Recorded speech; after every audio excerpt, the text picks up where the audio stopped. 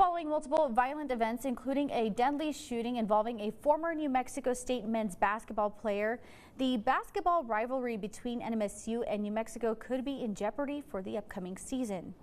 The concerns come after the series was canceled last year on the heels of former Aggie basketball player Mike Peake being involved in a deadly self-defense shooting in Albuquerque with four UNM students.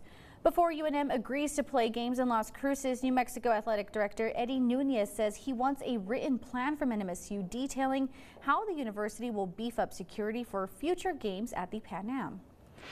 Now, in a statement, the school said in part, quote, we know these games mean a lot to the people of New Mexico. Unfortunately, we're not sure what the holdup has been on getting these matchups scheduled.